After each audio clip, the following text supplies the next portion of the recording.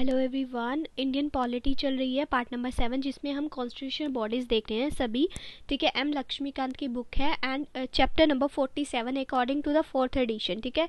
तो uh, uh, चाहे ये पुराना एडिशन है थोड़ा ही पुराना है इतना नहीं है तो Uh, लेकिन मैं चैप्टर सारे इसमें कवर करूँगी ठीक है? तो ये वाला जो फोर्टी सेवन चैप्टर है uh, ये इसमें एडवोकेट जनरल ऑफ़ स्टेट के बारे में हम डिस्कस करेंगे ठीक है? तो उससे पहले मैं आपको बता दूँ कि ये जो सभी कॉन्स्टिट्यूशन बॉडीज़ हैं ये हमने रीड आउट कर ली हैं। आप जाके ये सारी जो है वीडियोस एक एक देखिएगा काफ़ी ज़्यादा नॉलेज आप गेन करेंगे इसके through AG of the state ठीक है? Advocate general of the state के बारे में आज हम डिस्कस करने जा रहे हैं। तो जैसा कि हमने लास्ट लेक्चर में पढ़ा था अटॉर्नी जनरल ऑफ़ इंडिया जो कि आर्टिकल 76 में बताते हैं उसके बारे में तो वहीं पे advocate general of the state ये कौन से आर्टिकल में है? आर्टिकल 165 ठीक है? तो ये प्रोवाइड करता है the office of the advocate general for the state ठीक है? तो ये भी सेम वैसा ही हाइएस्ट लॉ ऑफिसर है वहाँ पे हमने बात की थी, इन द कंट्री की, ठीक है? तो ये स्टेट का हाईएस्ट लॉ ऑफिसर होता है। उसके बाद जैसे कि correspondings to the attorney general होता है ना, वैसे ही ये इंट्रो में आपको याद रखते हैं 165 article and highest law officer of the state वहाँ पे हमने 76 की बात की थी आर्टिकल की, यहाँ पे 165 दो चीज़ें आपको यहाँ पे याद रखनी है।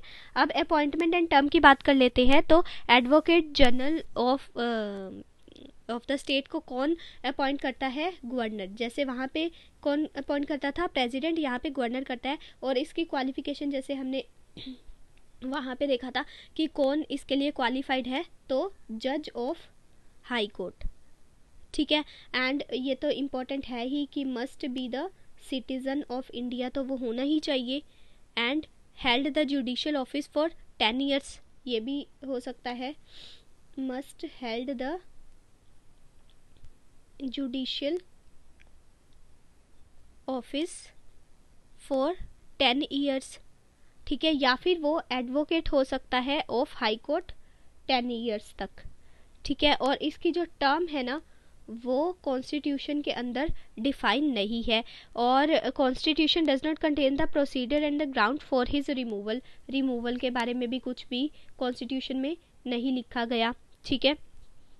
ये गवर्नमेंट की जो गवर्नर की प्लेजर तक ये काम करेंगे। जब तक गवर्नर चाहेगा, तब तक ये काम कर सकते हैं। और रिमूव भी कौन करेगा? इनको गवर्नर ही रिमूव करेगा, किसी भी टाइम रिमूव कर सकता है। और या फिर ये क्विट भी कर सकते हैं ऑफ़िस को, अपना रेजिग्नेशन देके किसको? गवर्नर को।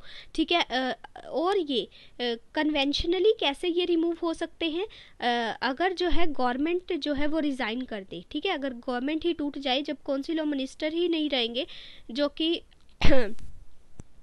इनको एडवाइस करते हैं तो ये भी, इनका भी जो काम करने का टाइम पीरियड है, वो फिनिश हो जाता है, ठीक है? और इनकी रेमोनरेशन कौन डिसाइड करता है? एडवोकेट जनरल की, जो कि कॉन्स्टिट्यूशन में बिल्कुल भी डिफाइन नहीं है तो वो भी गवर्नर ही डिसाइड करता है, वही डिटरमाइन करता है। तो ये सारी चीज़ें बिल्कुल सेम वैसे जैसे हमने अटॉर्नी जनरल में देखी थी बट वहाँ पे एक तो आर्टिकल में चेंज था, वहाँ पे 76 था, यहाँ पे 165 ये चीज़ याद रखनी है। वहाँ पे हमने कंट्री का वो हाईएस्ट लॉ ऑफिसर था, यहाँ पे स्टेट का है। अपॉइंटमेंट की बात करें, वहाँ पे प्रेजिडेंट था, यहाँ पे गवर्नर है। क्वालिफिकेशन में थोड़े से चेंजेस है, वहाँ पे सुप्रीम कोर्ट था, यहाँ पे हाई कोर्ट है। सिटीजन ऑफ़ इंडिया तो ये तो सेम ही है। ठीक है? और यहाँ पे थोड़ी सी कंडीशन चेंज है, ये देखिएगा। टर्म एंड रिमूवल के बारे में कॉन्स्टिट्यूशन में नहीं लिखा, वहाँ पे भी सेम ही था। यहाँ पे किसकी प्लेजर से ये रह सकते हैं? गवर्नर की, वहाँ पे प्रेसिडेंट की था। जब काउंसिल ऑफ़ मिनिस्टर ही रिज़ाइन कर देगी मतलब गवर्नमेंट ही टूट जाएगी तो इनका भी फिनिश हो जाएगा वर्क वहाँ से, काम करने का। उसके बाद हमने देखा कि इनकी, ये जो रिमूवल है अपना मतलब अगर ये छोड़ना चाहते हैं तो किसको सौंपेंगे अपना? गवर्नर को, वहाँ पे प्रेसिडेंट को सौंपते थे। रेमनरेशन कौन डिसाइड करेगा इनका, जो कि कॉन्स्टिट्यूशन में नहीं लिखा गया? एडवोकेट जनरल का तो गवर्नर करेंगे और अटॉर्नी जनरल का प्रेजिडेंट करेंगे। तो ये सारा कुछ आपका अपॉइंटमेंट एंड टर्म्स में आ गया। अब हम ड्यूटीज़ एंड फ़ंक्शंस देख लेते हैं। तो law chief law officer of the government of India की कुछ मतलब ड्यूटीज़ जो है वो डिफाइन की गई है। बिल्कुल से वैसे ही जैसे हमने देखी थी ना अटॉर्नी जनरल में वैसे ही तो देख लेते हैं एक बारी। ये एडवाइस करेंगे गवर्नमेंट ऑफ़ स्टेट को, ठीक है? सभी जो लीगल मैटर्स होते हैं उनमें, जो भी इनको रेफर किए जाएँगे गवर्नर के द्वारा, जो भी गवर्नर इनको लीगल मैटर्स बताएगा, उनमें ये एडवाइस करेंगे स्टेट को। दूसरा, ये परफॉर्म करेंगे अपनी ड्यूटीज़ को ऑफ़ द लीगल करेक्टर जो भी गवर्नर इनको देगा, ठीक है, ये परफॉर्म करेंगे वो सारी ड्यूटीज़ को। तीसरा, वही सेम वैसा ही, ये डिस्चार्ज करेंगे अपने फ़ंक्शंस को, जो भी कॉन्स्टिट्यूशन ऑफ़ इंडिया में लिखा गया है, और और जो लॉ के अकॉर्डिंग होंगे, उसमें ये अपने फ़ंक्शंस को डिस्चार्ज करेंगे। उसके बाद इनकी जो परफॉर्मेंस होगी of his official duties advocate general जो है एंटाइटल है to appear before any court of law within the state तो ये किसी भी कोर्ट में जा सकते हैं। किस, की बात चल रही है? अब स्टेट की, क्योंकि ये स्टेट वाइज होते हैं ना। फर्दर इनके राइट्स क्या होते हैं?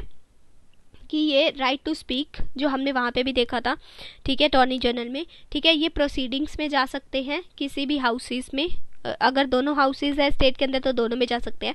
तो both the houses of the state legislature ठीक है ऑफ़ और any committee of the state legislator of which he may be named as a member ठीक है, उसके बाद इनके पास राइट टू वोट नहीं होता, ये बहुत इंपॉर्टेंट है, ठीक है but without the right to vote और ये सभी हर प्रकार की प्रिविलेजेस एंड इम्यूनिटीज़ जो है, जैसे मेंबर ऑफ़ स्टेट लेजिस्लेचर होते हैं ना, जो उनको मिलती है मेंबर ऑफ़ स्टेट वैसी ही सेम जो है एडवोकेट जनरल को भी मिलती हैं। तो ये आपको कुछ बातें इनकी ध्यान रखनी है।